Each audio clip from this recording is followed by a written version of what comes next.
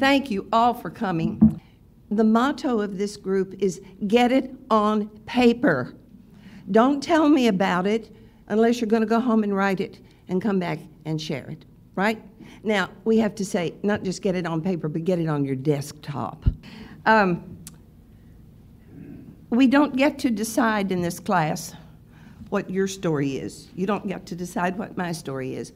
We honor each other's stories. Now, today is not going to be a lot of happy, fun stuff. It's going to be some sad stuff, but interesting stuff, and there are threads that run through our stories. I hope you'll find that. No. And we're going to get started with our first presenter, who is Alice Mass. One of my goals after I stopped working was to write memories of my life. I was spurred on when a year ago I told my 10 year old grandson Noah about my years living in the South. He sat with rapt attention as I told him about my experiences of segregation in Tennessee. In the, 19, in the 1950s, I told him how black and white people could not go to the same restaurants, movie theaters, and even had to drink from separate water fountains. When I was finished with the story, Noah was visibly touched. I realized I had shared not only my life, but an important part of history with him. Life moves on, and eight months ago, my husband and I moved to Chapel Hill after living most of our lives in New York City. Now I had the time to start a writing class, but where? I read the newcomer's website and my eye was drawn to the personal history writing class on the shared learning link. I asked if I could sit in on a class. Yes, came the reply. As a matter of fact, Bobby Lucker, the leader of our class, offered to drive me there. I felt so welcomed as we were just starting to meet a whole new bunch of friends down here. When I walked into the room, I discovered a group of intelligent, vibrant men and women eager to share their stories with each other. I took notes at that first visit as ideas popped into my mind, just listening to the writing and the conversations that took place afterwards. Without pausing, I joined the group. Under Bobby's able and warm, respectful environment, I immediately felt at home. Since I have joined, I increasingly, increasingly feel a bond with my classmates because, as diverse as our stories might seem, there is in fact a common thread of experiences that appear, and I see the commonality of our lives on many levels. Funny, touching, sad, all stories are shared and enjoyed. I find it a safe place to reveal things about myself. One is my age. How can I write my personal history, I thought, and not tell when I was born. I was born in Brooklyn in March 1945, just months before World War II ended. From my perspective, life was glorious after post war era. As soon as consumer manufacturing resumed, my parents bought a television set and a brand new, new DeSoto sedan. The television set was a novelty which entranced us all it sat in a place of honor between um, in the living room. I especially loved to watch the pattern which appeared on the screen between programs. My favorite show was the Howdy Doody show, which came on in the late afternoon. I loved to go roller skating with my best friend Annie. I remember sitting on the stoop of our row house and diligently adjusting the skates to fit my feet with my shoes on and then using the key to tighten the skates so it fits snugly and wouldn't come off. Balancing while on the skates was a challenge that often ended in scraped knees, but we weren't deterred. My father had a laundry business, be, which before and during the war was very successful. All was well until washers and then dryers became popular items for the home. My father saw the future of home laundering and knew his business was not a part of that future. When we moved to Tennessee, we too bought a washing machine. We kept it in the garage as it used to shake much too vigorously on the spin cycle. When the weather was nice, we put the wet clothes from the washer in a laundry basket and brought it to the clothesline in the backyard. There, I always helped my mother use wooden clothespins to hang the clothes on the line to dry. I loved to watch the sheets blow in the breeze. As we were packing to move here, I sorted through my boxes of memorabilia and found the dog tag I had worn when I was six or seven years old. It was silver metal, and I had worn it on a chain around my neck. It had my name, address, and a J on the bottom for Jewish, so I could be correctly identified in case of an attack. At that age, the world situation of the Cold War with Russia did not really make an impression on me. Russia? Bomb? Let's play baseball, was all my friends and I could say. I recently received an e card with the song America the Beautiful playing in the background as stunning pictures of America flashed on, flashed on the screen. Tears welled up in my eyes, and I felt a deep pride in my country. It brought back memories of lining up in the hall in elementary school a couple of times a week to go to the music room where we were taught and practiced patriotic songs. Post war America definitely influenced the person I am today. How has being a member of personal history class helped me write? I am able to take these seemingly disparate memories and put them in a context of world history. To me, it gives my life experiences a clearer perspective. I am grateful to have found this class and to have this opportunity to read today.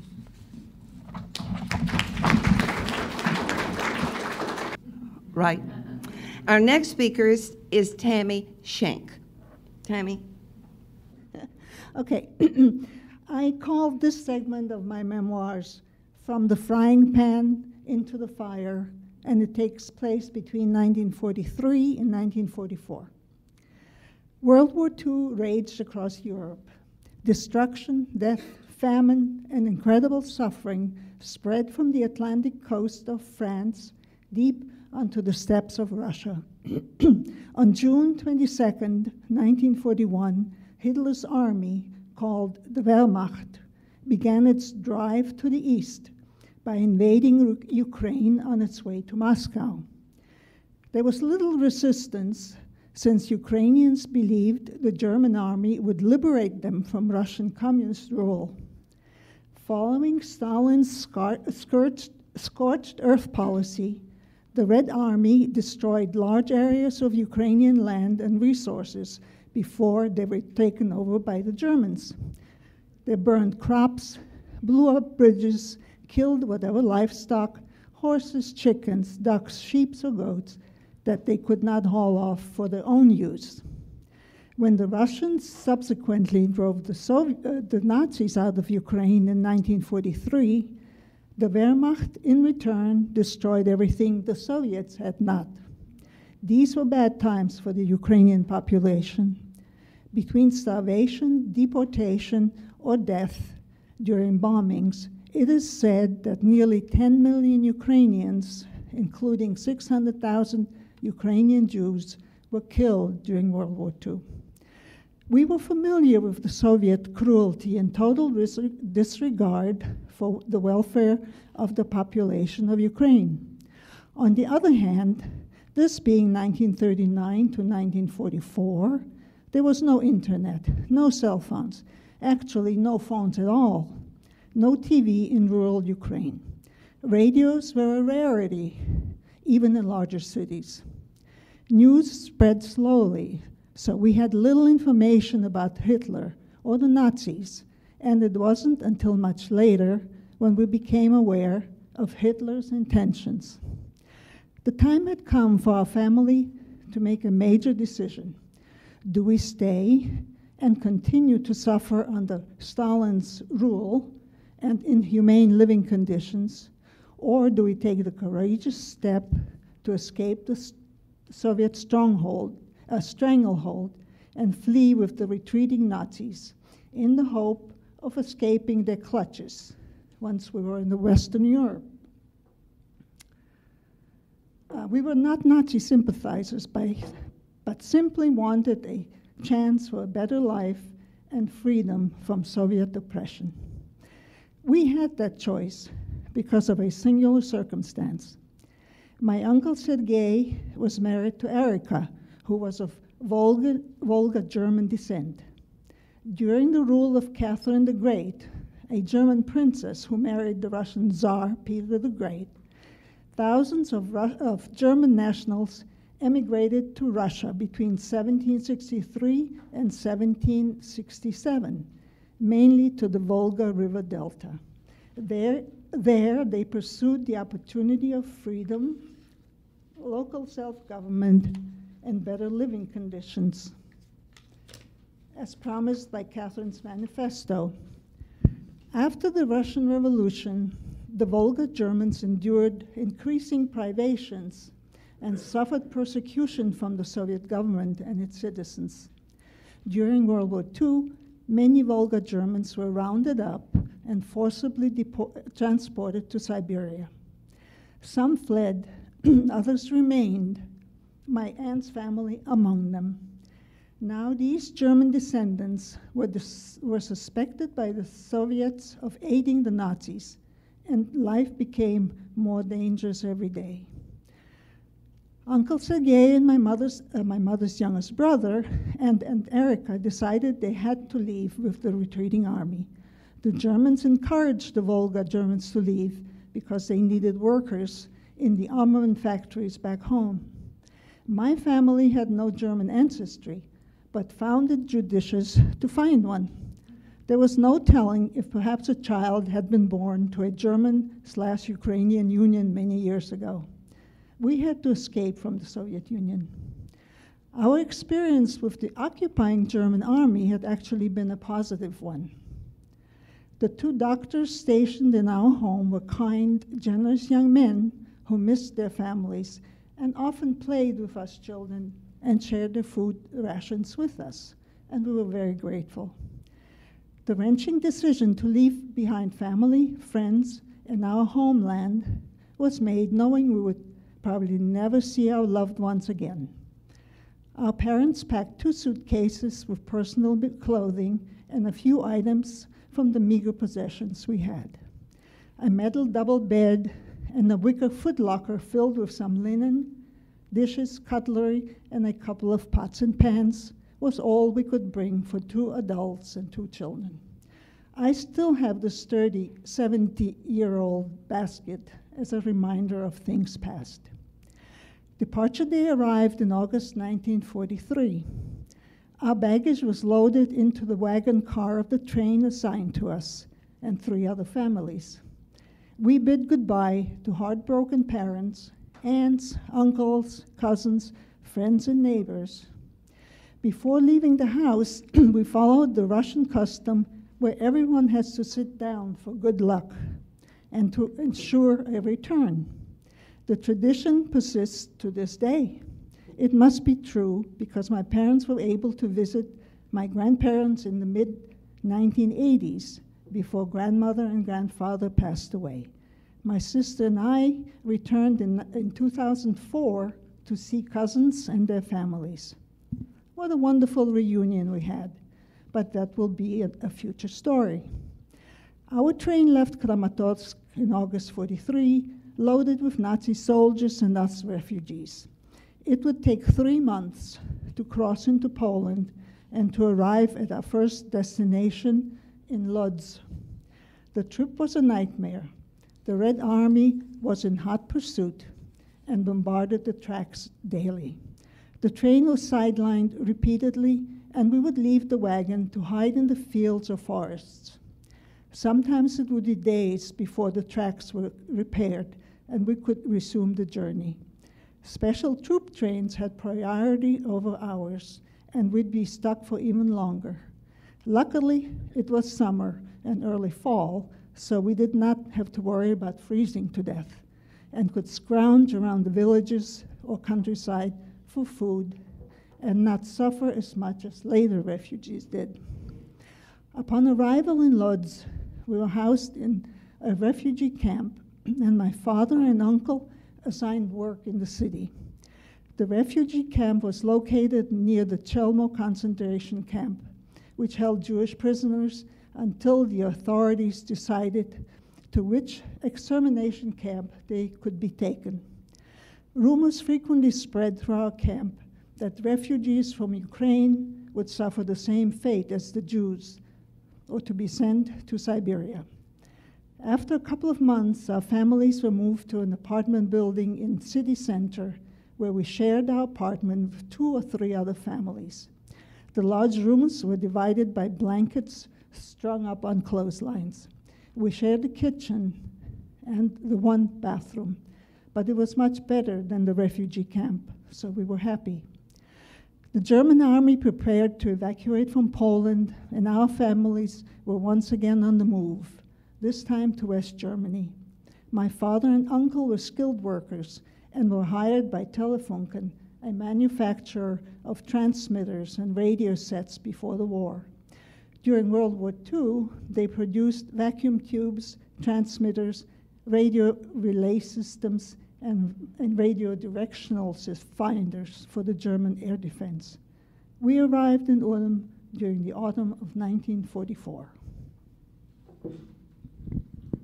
There's another principle here. Uh, my new friend Nancy and I were talking about the difference between um, autobiography and memoir, and she knew, and I didn't, so I learned that today.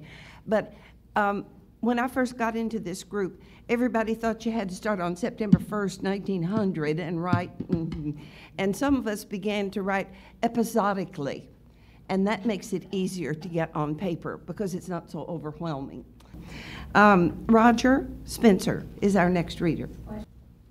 So I hope you can hear my voice. It's usually pretty loud anyway, but you're going to have to back up a bit chronologically for this. It's called Flight.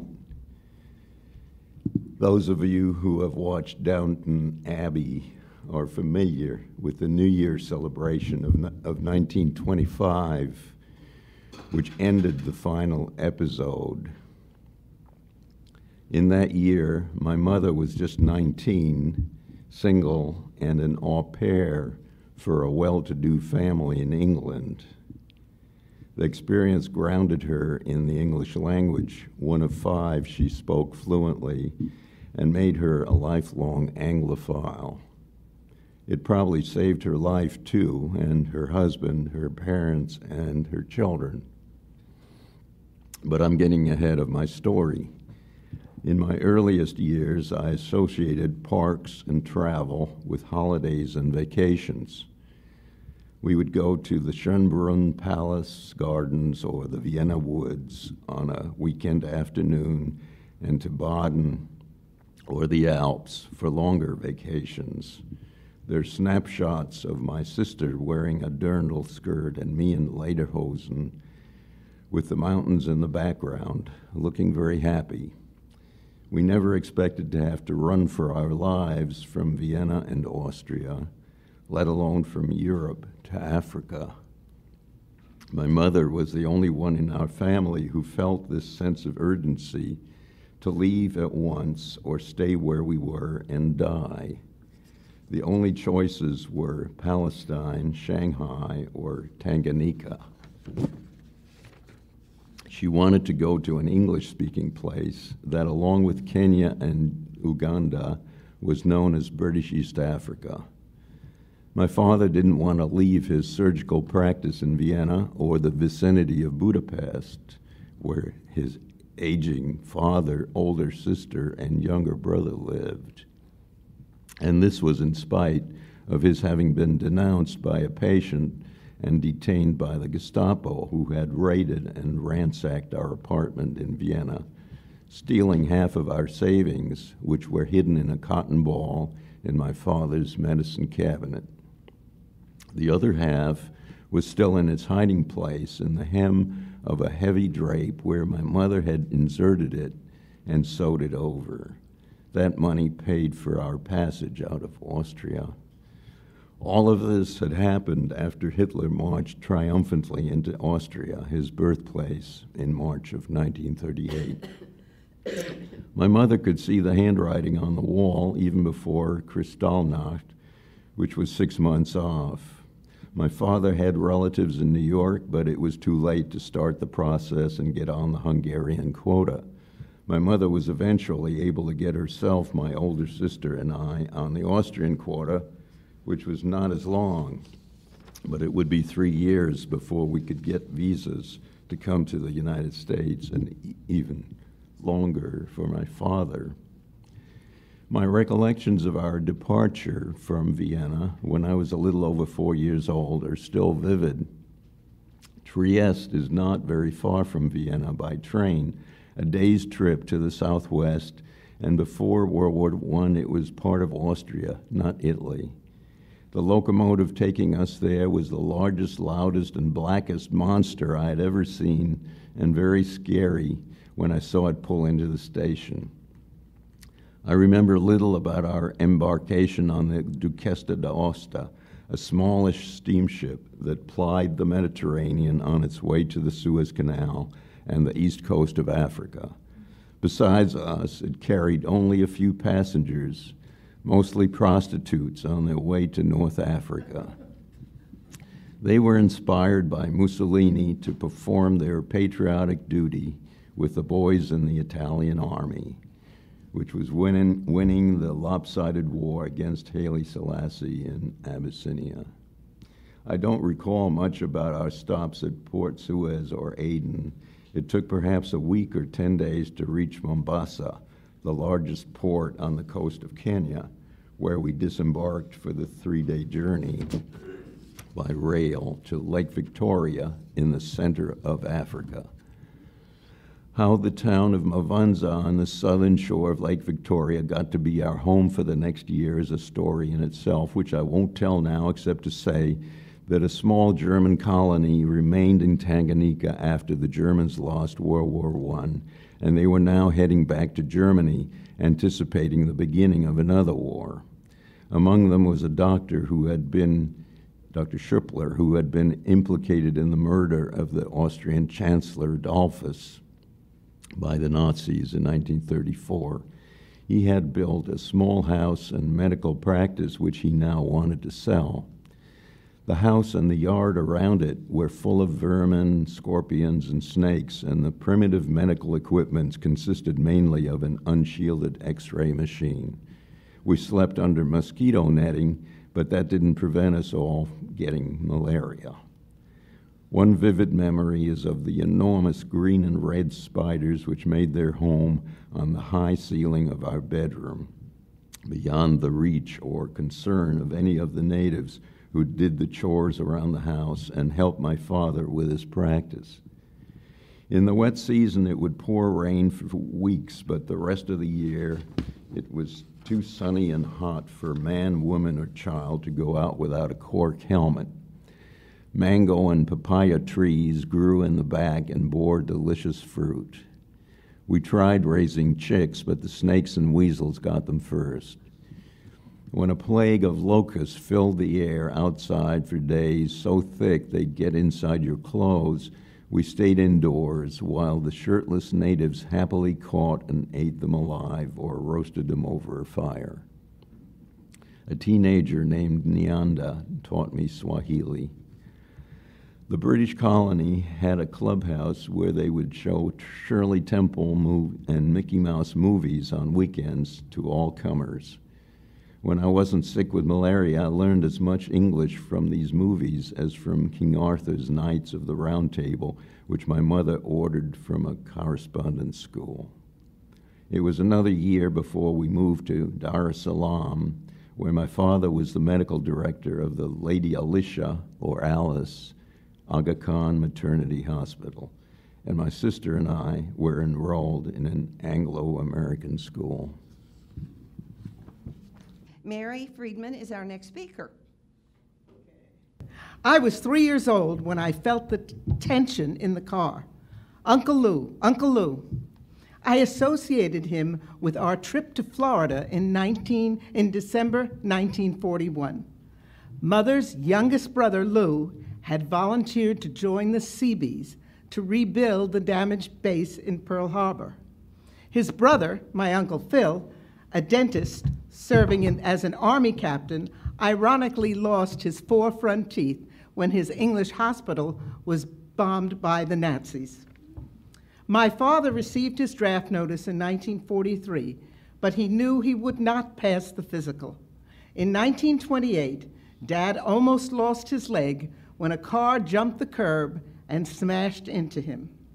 Instead, he became the air raid warden and volunteer fireman, patrolling the streets to make sure all the lights were out and the black shades were drawn, and racing to fires at 3 a.m. in the morning in our little town of North Bellmore. Dad worked as a traffic manager for the Joe Lowe Corporation in the Starrett Lehigh building, which is on the, the, the uh, display right there. On 26th Street and 12th Avenue in New York City, overlooking Pier 66. Any of you who know New York know that 12th Avenue is the street right next to the piers.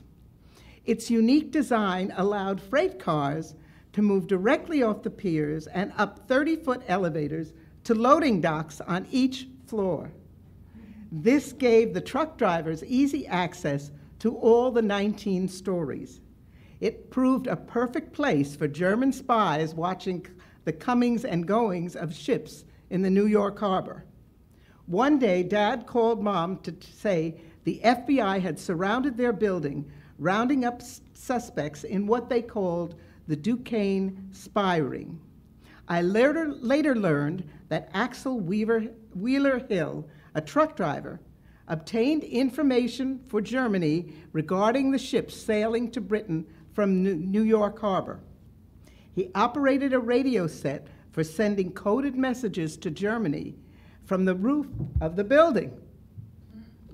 he also encouraged members of the spy ring to secure data and arrange contacts between various German agents. At home, my mother was a community organizer. She lobbied the school board to use WAP, WPA funds for a nursery school to be built in the basement of the elementary school. In our town of North Bellmore, Long Island, many of the women worked at the Grumman and Republic aviation plants. They needed full time care for their children. Although mom was not working on the assembly line, she made sure that I attended the nursery school until I started first grade at five. On the home front, shortages and racing. Let me just go to my next picture. Oops, Oops I'm going the wrong way. Not going the wrong way. Uh, there we go. Okay. On the home front, shortages and rationing had the greatest effect on our everyday lives. Mother had to tear out ration stamps from a book to be permitted to purchase a pound of meat, a stick of butter, or a pound of sugar. These products were needed to feed the millions of soldiers serving around the world. Without these stamps, you couldn't buy these things. I'm sure there were black market sources, but my family stuck by the rules. Mother next volunteered with the Nassau Consumers Union to help people manage their food budgets. Now, Mother was great at, finan- at the financial part. She'd been a bookkeeper. But recipes were another story. I, co- I accompanied her to a local radio station in Freeport where she was invited to speak. Mother, one of eight children, had lost her father at nine. She started working full time at age 15 to support her brothers in school. As a result, she was a mediocre cook at best. She relied on government pamphlets from the Department of Agriculture since she couldn't advise people on how best to use the food allotted. Instead, instead of giving her advice on preparing foods, which she couldn't cook herself. the war affected everything in our daily lives. Our victory garden gave us yummy fresh vegetables during the summer and yucky canned vegetables in the winter. First, we planted radishes, corns, beef, beets, and root crops. After they were harvested, we planted peas, string beans, cucumbers, tomatoes, and corn. I love picking the peas. To this day, I have not eaten a pea as delicious as I remember from that fresh garden. Food in the supermarket just doesn't compare with the tomatoes and corn freshly picked. Mother would sterilize mason jars in a pot on the stove, cook the vegetables, pour them in jars, and seal them with paraffin. We took them to the Schutzman's house next door to a cold storage subbasement, and this I remember very vividly. We would climb down the cellar stairs, pull a large ring in the middle of the floor, and then we would descend more steps down to a small room filled with shelves on all the walls. I re- rarely remember retrieving them once they were down there, but we must have because we did eat during the winter months. We had a chicken coop, as did our neighbors.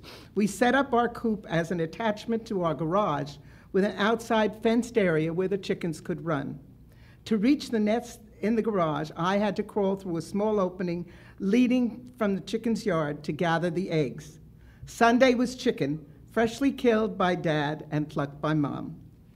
The item that I felt most deprived of was butter. I hated the margarine substitute, a white stick which you could color by squeezing a yellow dye bubble. It tasted nothing like butter. I learned to spread my butter, but any butter I had, so very thin, so we would not have to use any of that horrible tasting stuff. Dad rode his bicycle to the railroad station so mom could use the car ration stamps. If she had enough gas, mom could take us to Jones Beach there we could forget about the war and enjoy a beautiful summer day. I'm going to tell you my story. It's a home front story also. Uh, when we were planning this, we thought, um, yeah, the war had effects other than in Europe and in Japan. My story is called Letters from Home. The wars in Europe and the Pacific ground on endlessly. Six of my uncles and cousins went to war. Five came home. My father was a skosh too old. Everything was scarce sugar, meat, butter, shoes, gasoline were all rationed. I had one pair of shoes that I had not outgrown. My little white summer sandals were not going to cut it in the days of 1944's winter as they, those days got shorter and colder. I put on two pairs of socks, my little white sandals, and my synthetic galoshes, and went off to school dressed about as well as anybody else. The letter arrived the day before Thanksgiving. As mother read, she started to weep. She handed the letter to Daddy. He read it aloud to me. Dear Cricket, Robert, and Bobby, Cricket was my mother's nickname. Now that my 18th birthday has passed, I have been called into the U.S. Army. I'll go before Christmas. With personal car gasoline rationing, you cannot drive home for Christmas. Papa and Mama need to see you. Since Papa can't drive, I enclose the ration stamps for our tractor gasoline with the hope that you can come to visit. Robert, Papa thinks you're a smart man so I hope you can help them figure out what to do on the farm and everything. I've left my 1937 Chevrolet with cousin Chug King, and we wanted you all to have the tractor gas. I'll write when I get settled in. Your loving baby brother, Carmen King. And so, on the day after Christmas, I, wearing my brand new rationed, unrationed plastic penny loafers, with my mother and dad using the precious tractor gasoline, drove with a full tank of gas from Lexington, Kentucky to the village of Hillside, Hillsdale, Simpson County, Kentucky, to visit my grandparents, Papa and Mama, Ed and Mary King. We were sitting before the fire after supper. Rural electrification did not come till after the war. Mama lighted her pride and joy, her Aladdin lamp, half filled with farm available kerosene so that I could do my homework by lamplight outside the conversation circle. Papa spoke from his cane bottomed chair by the fireplace. Mary, tell Cricket and Robert about the letter you wrote. My grandmother turned from the sideboard with the Bible in her hand and said, We don't know what we're going to do about the farm. Ed can't drive the tractor. Maud the mule has been taken into the army as an army mule. She's gone to war, and there's no way to pull the plow. We can't get out the crops. We can't harvest the crops that are coming in this spring. We will have no income for two years. Yes, I know you children will help, but our lives and the ground will lie fallow. So she said, I wrote to the president. Daddy spoke quickly. The president of what? And she said, The president of the United States of America.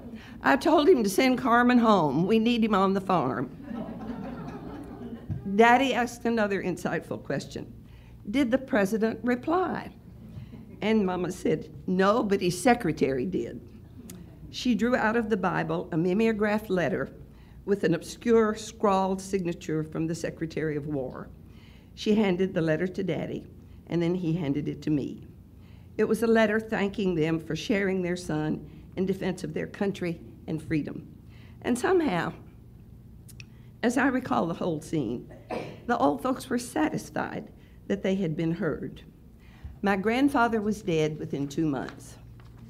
Carmen came home from the Philippines in August 1945 at the end of the war.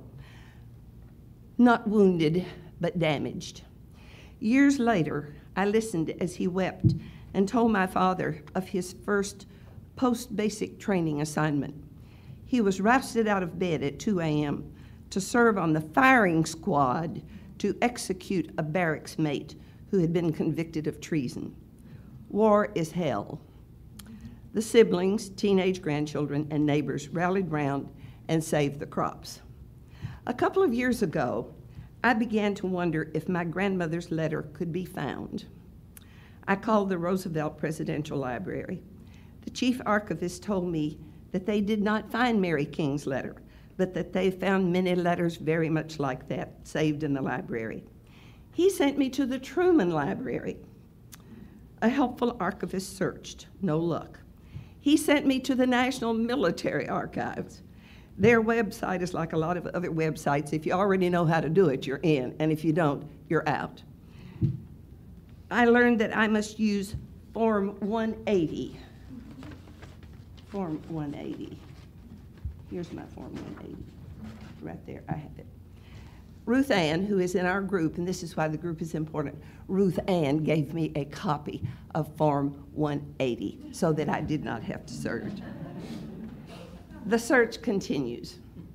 Carmen King became a pastor and leader in the Methodist Church. He worked all over the South to help revive churches of other races and denominations. At a conference, he was the morning speaker, and Billy Graham was the afternoon speaker. So everything worked out just fine. Uh, Darryl Freedman, who is our videographer and um, organizer. Basic setting 1942, around that. I'm about um, six or seven years old, around that time frame. Long Island, New York, a rural area called Franklin Square. Our family crowded around every evening to listen to the radio news, and news was always kind of somber. I didn't understand the news, I was only six. But the, but the conversation, but the tone of their voices was very upsetting. Mother and dad sounded scared and unsure of what would come next. Dad told us that if the war wasn't ended soon, he'd have to leave us. He's going to get drafted. And, he, and, and Dad's somber warning jolted Mother into silence. She pressed her lips tightly together, which sort of was her signal that she was scared. And she had a lot to fear. Mother was, we lived frugally in a small town in Franklin Square. Our family didn't socialize with anyone. And, uh, and in the neighborhood, and mother didn't, didn't drive. She depended on dad for everything. If anything went wrong, she was stuck. She had to call dad, and dad was working. So it was a real problem. If dad went to war, there'd be nobody to call. Uh, the specter of dad's possible draft really scared her. The radio news was always about the war.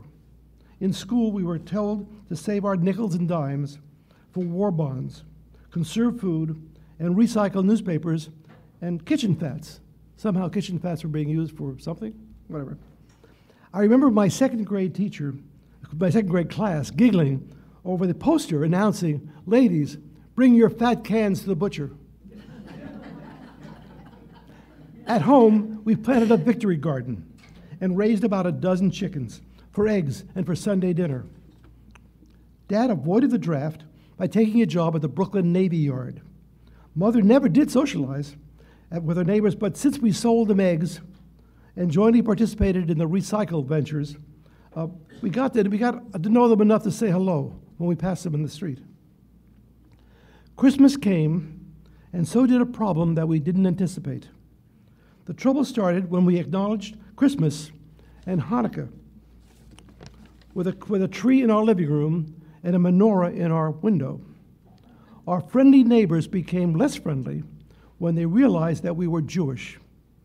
My elementary school education became augmented by my classmates, who told me that the Jews killed Jesus and held me personally responsible for, for, the, for the Second World War.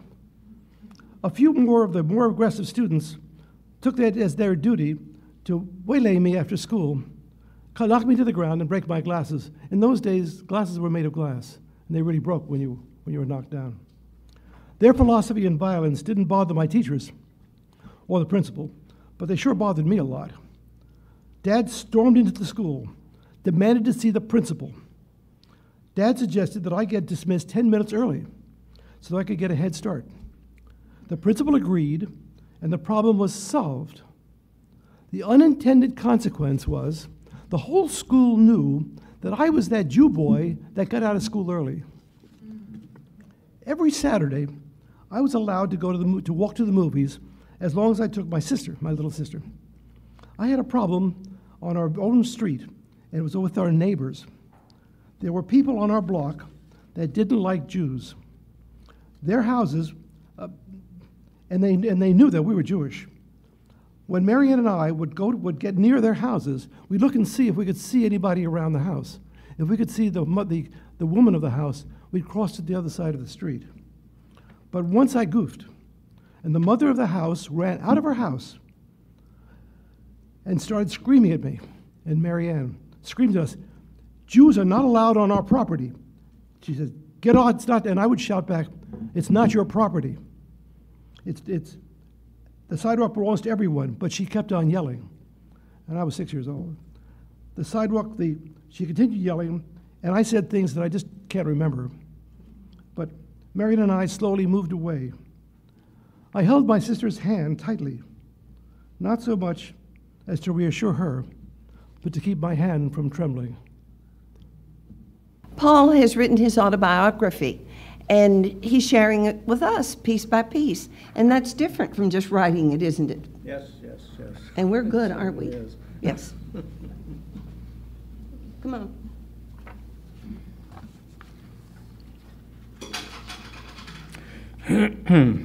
I was born May 21st, 1934, in Vienna, Austria, into a well to do family. We lived on the first floor, above the lobby floor, in a very nice apartment. Had a full time governess to take care of my every needs. My grandfather, Shia Hirsch or Herman, came to Vienna in 1898. After three years in the Austrian army, he tried his hand at several businesses and finally decided on selling secondhand furniture. He became very successful at this and eventually owned several furniture stores. Okay.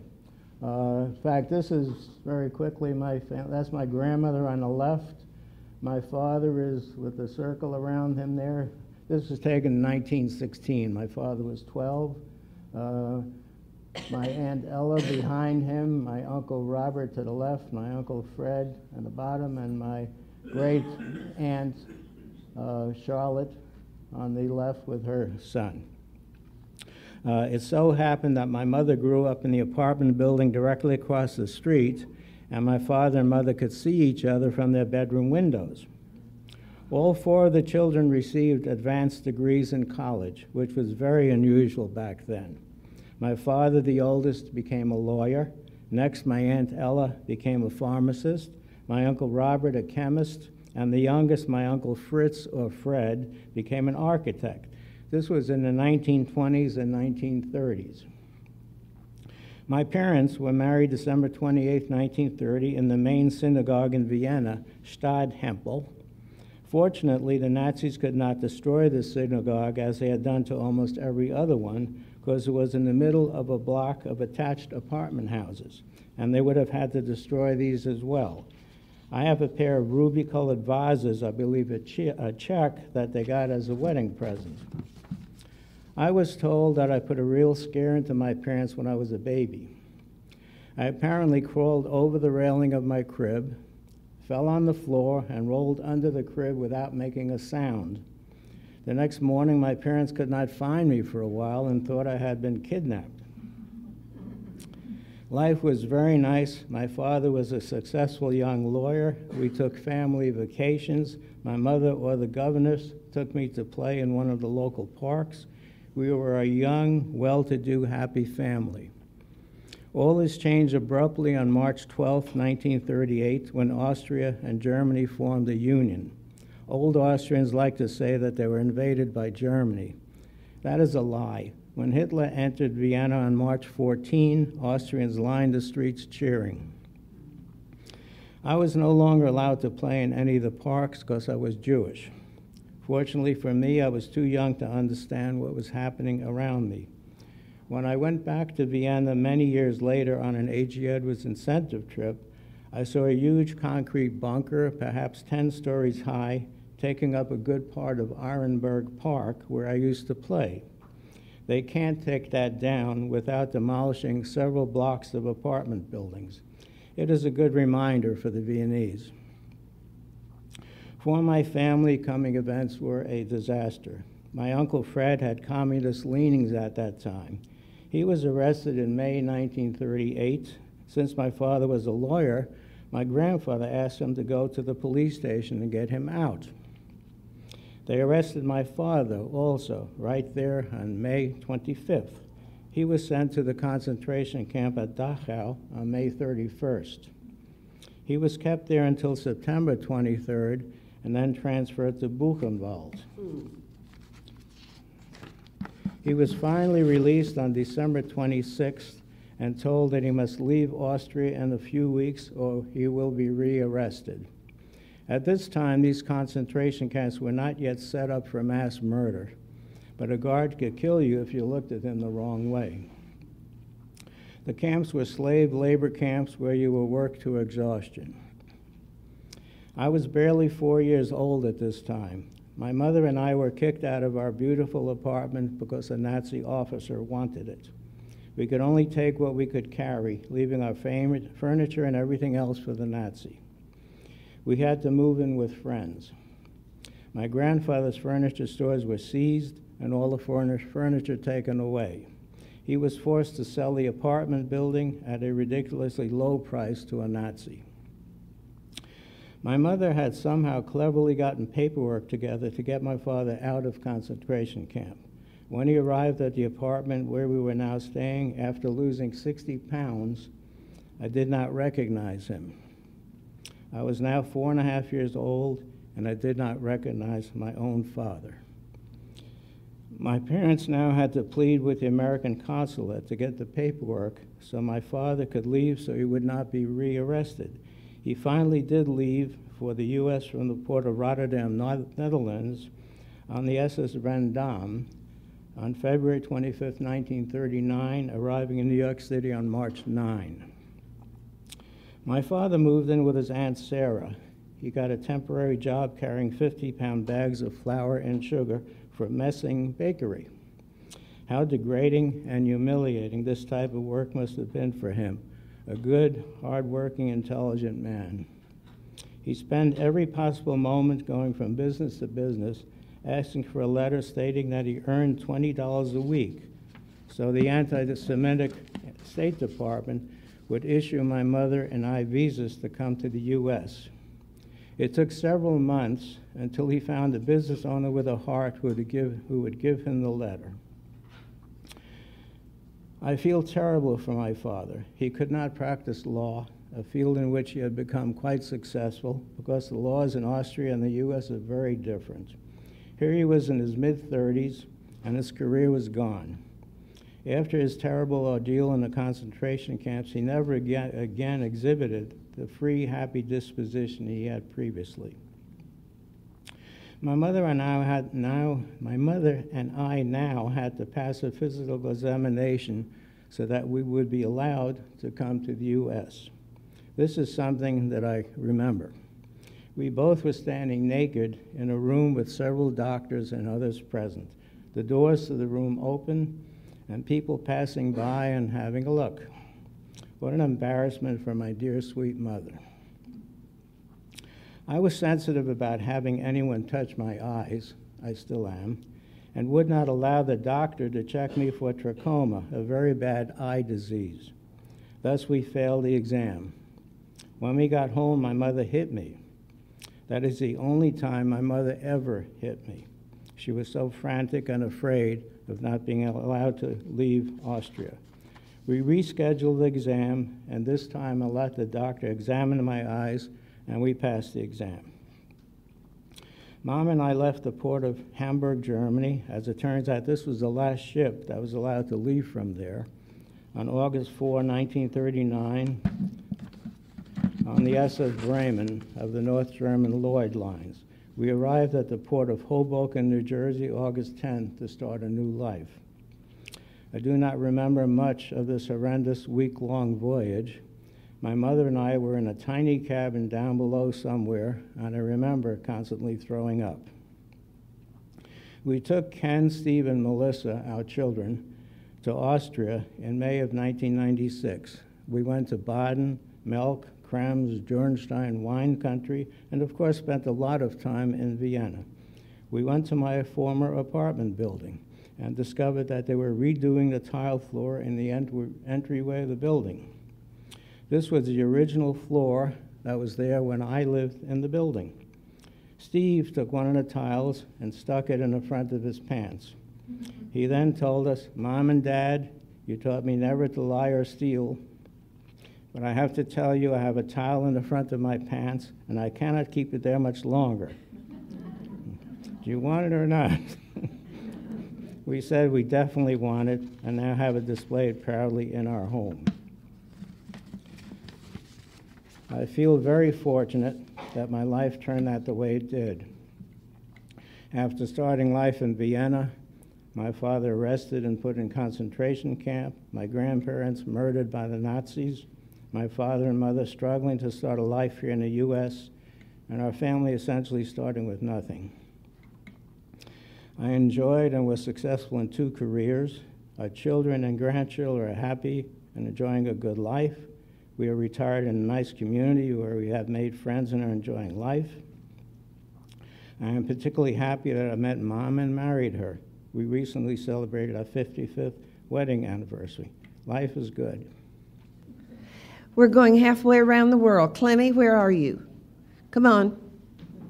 Okay. Pearl Harbor was attacked on December 7, 1941, and I was born on June 22, 1940. My memory of the war is limited, which is a blessing. There are events which left an indelible mark on my memory.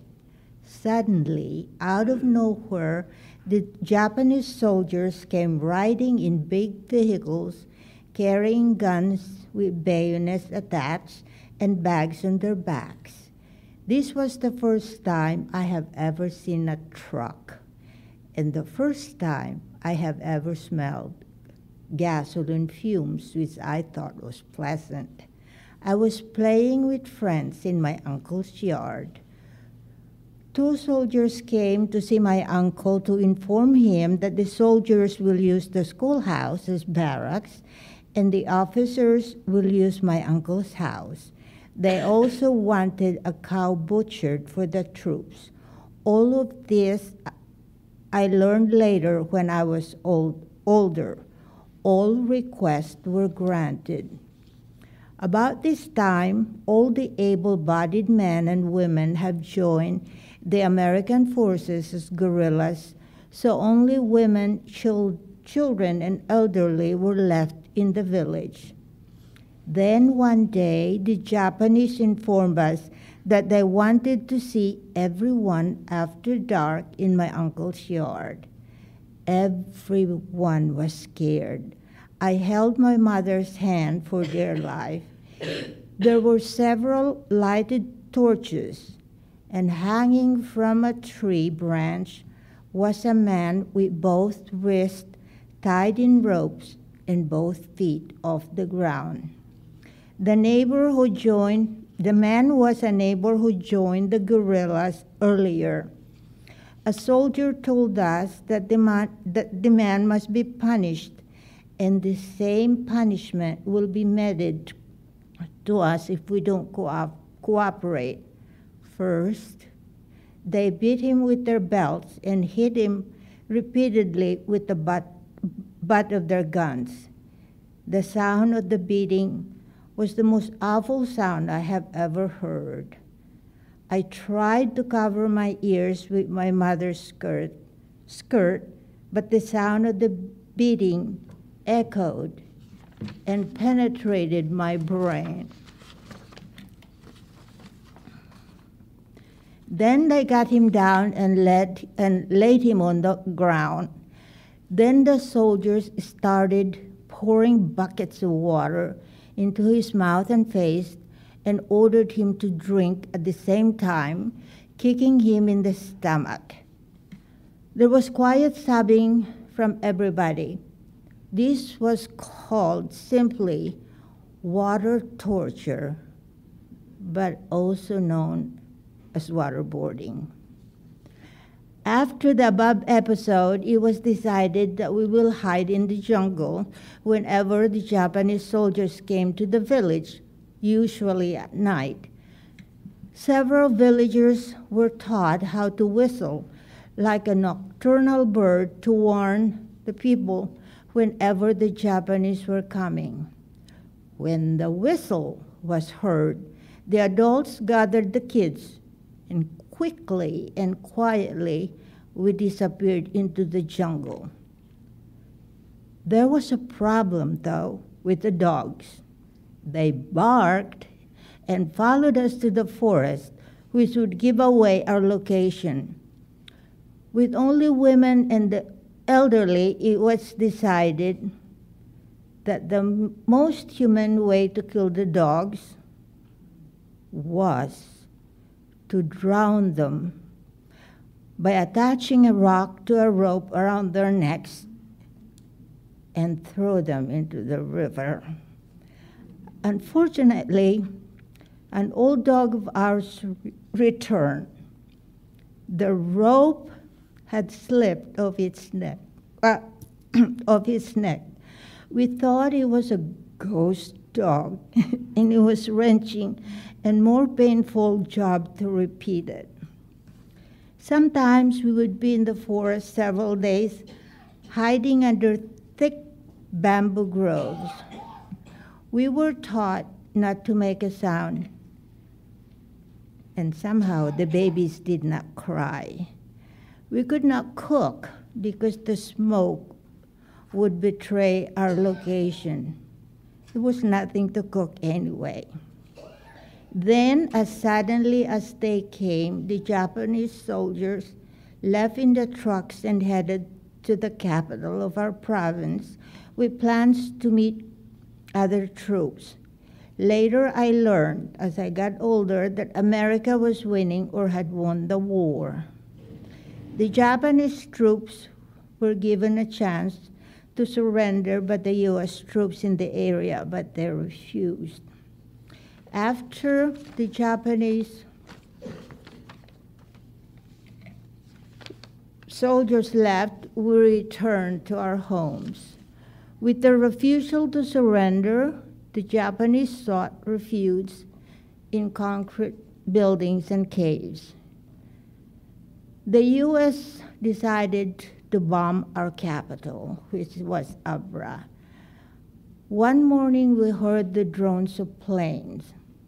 We have never seen planes before. I climbed a tree to get a better look. The planes started to drop huge cylindrical things, and as it hit the ground, There was a loud boom and, a, and huge billows of fire. Many civilians perished with the Japanese. My young mind saw only the beauty of the explosions and fire. Would I have suffered more psychological trauma if I was older and understood the ramifications of war? What do you think?